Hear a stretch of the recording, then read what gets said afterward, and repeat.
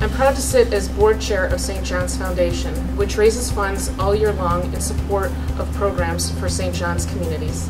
St. John's has served seniors since 1899 and has always received strong support from the Rochester community. In 1992, St. John's Foundation was formally established, tasked with growing resources in support of St. John's initiatives and enhancing the lives of all those who call our communities home. Quite simply, gifts to St. John's Foundation bring meaning, joy, and purposefulness to the St. John's residents throughout the Rochester area.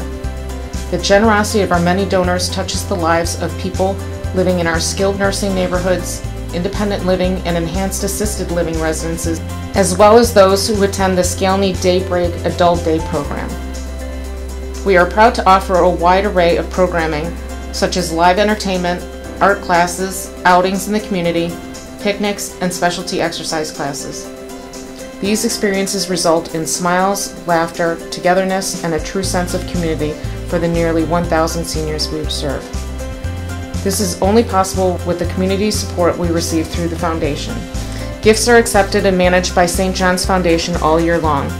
We receive gifts in memory or in honor of a loved one, donations in support of events like our annual golf tournament, as well as those designated through the United Way. We even receive gifts that are shares of stock, life insurance benefits, and bequests. Whatever form it arrives, each gift is imperative to ensure our continued success. Each of us has a role to play in helping build our community.